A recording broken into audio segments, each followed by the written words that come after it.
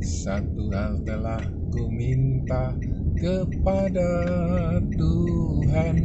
Itulah yang ku ingini Diam di rumah Tuhan seumur hidupku Dan menikmati kemurahan Tuhan